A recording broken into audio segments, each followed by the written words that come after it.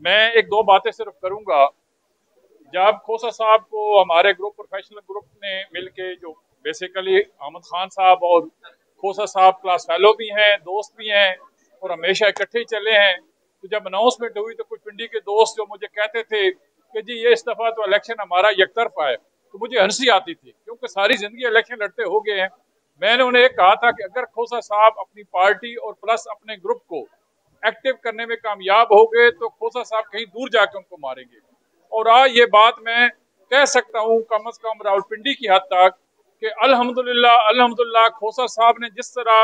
अपने ग्रुप को, साथ अपनी पार्टी के दोस्तों को मुतरक किया है तो मैं इनको आज एडवांस मुबारकबाद देता हूँ। जहाँ तक खोसा साहब की जात का तलक है तो मैं जब पंजाब गवर्नमेंट कॉलेज सरगोदा से बीए करके एक साल के लिए लाहौर गया तो जब खोसा साहब के दफ्तर से गुजरते थे, लोग हमें दिखाते ये लतीफ खोसा साहब का है, जो लाहौर के सबसे बड़े वकील है। यकीन करें, उस टाइम नाइन्टी की बात है कि खोसा साहब उस टाइम लाहौर में सबसे बड़े वकील थे फौजदारी, और अल्हम्दुलिल्लाह अल्हम्दुलिल्लाह खोसा साहब आज भी सबसे बड़े वकील है फौजदारी पाकिस्तान में। क्यों? ये प्रोफेशनल है, ये प्रोफेशनल की बार है तो मेरी आप तमाम दोस्तों से गुजारिश है, और यकीन जाने हमें सुप्रीम कोर्ट बार का हर साल हम इलेक्शन लड़ते हैं। जिस तरह आज खोसा साहब के यहाँ इस्तकबाल हुआ है, जिस तरह आप सारे दोस्त खोसा साहब के लिए इकट्ठे हुए हैं, कभी पहले इस तरह नहीं हुआ। और मैं ये समझता हूँ, अगर इसी